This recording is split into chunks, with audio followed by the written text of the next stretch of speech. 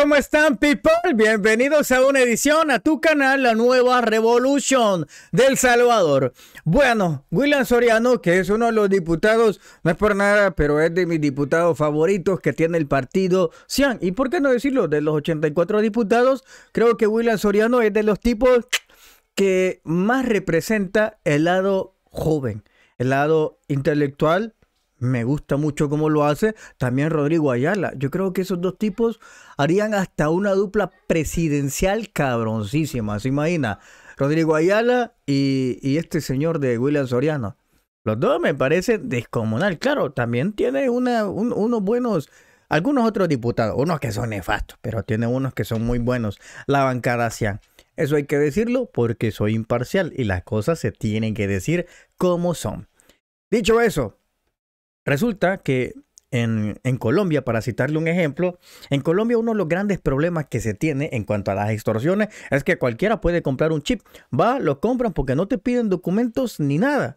¿Sabía usted eso? En Colombia pasa eso. En Chile también pasa lo mismo, allá en Santiago. Y en algunos otros lados, pues no, no es así. Ahora remontémonos a la realidad nacional. Pues allá muchas extorsiones se dan a base de eso. Y ahora el nuevo, la nueva categoría a lo que va a llegar el plan control territorial, si ustedes se recuerdan, se dividía en siete, en siete niveles. Pues ahora vamos a conocer el nuevo nivel al que vamos a llegar. Y aquí lo tenemos. Escuchemos lo que dice Soriano. ¿Alguna vez se han robado el teléfono celular? Sí. En la calle, en algún bus o simplemente lo perdiste.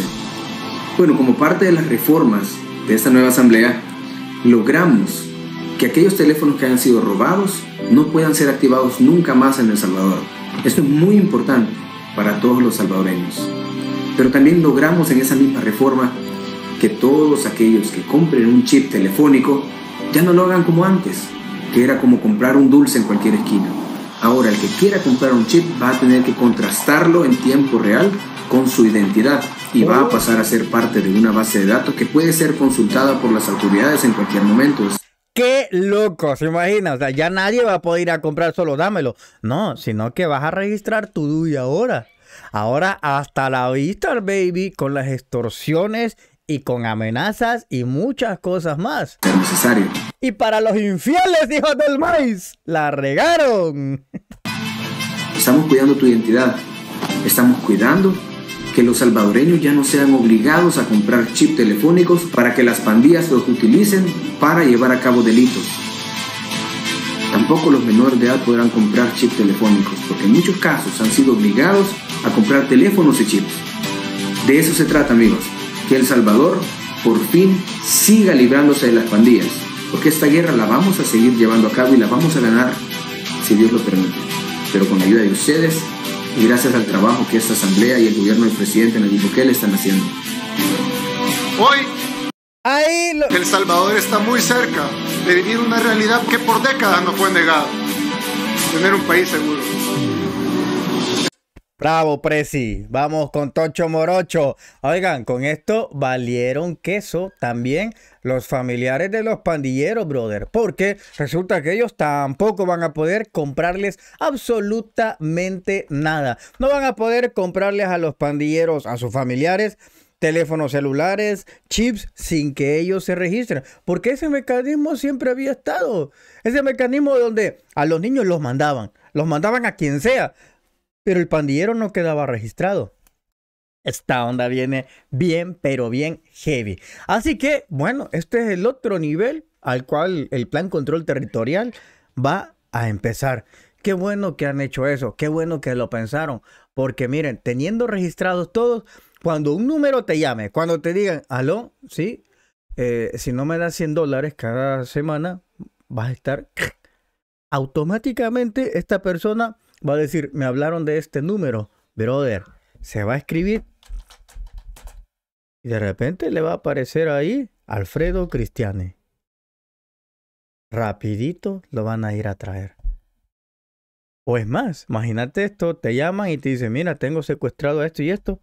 Me llamaron de este número. Y, espero que también pongan aquí la modalidad en donde los números no sean privados. En donde no sé si existe esa modalidad en El Salvador, pero que los números no sean privados y uno pueda verlos. Esa modalidad va a estar buenísima. Por ejemplo, miren, les voy a dar un, breve ejemplo de esto. Eh, vamos a ver. Mire, para citarle un ejemplo. Acá, usted ve el número que ahí dice Zambia, ¿verdad?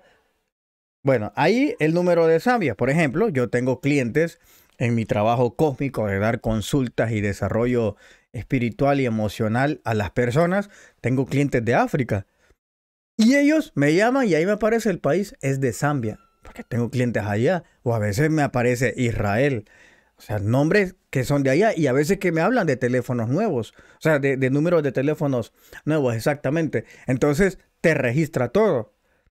También puedes ponerlo la modalidad privado, pero es muy raro. Casi siempre es la policía, eh, las escuelas que te hablan de un número privado. Al menos en mi caso, en mi experiencia es así. Pero de ahí siempre se tiene que ver. Creo que esa modalidad también debe de quitarse para que el que sea extorsionado vea el número de teléfono que ahí está. Y no, brother, con esto le pusieron fin. Gracias, gracias, gracias por este gran trabajo que están haciendo. Y como les dije, yo soy imparcial. Y aquí sí se merecen los aplausos los señores de la bancada Cian, los del partido Gana y los que se unieron. De eso se trata, brother, ser imparcial. En donde usted diga lo bueno y usted mencione lo que está mal. Así vamos a tener un país mejor. Muchas gracias por todo. Este es tu canal, La Nueva Revolución de El Salvador. Cuídense mucho, brothers. Los quiero, de verdad. Gracias por todo este tiempo que han estado conmigo. Hemos aprendido mucho, nos hemos encabronado, nos hemos reído, quizás hemos llorado, sufrido y aquí estamos. Hasta pronto.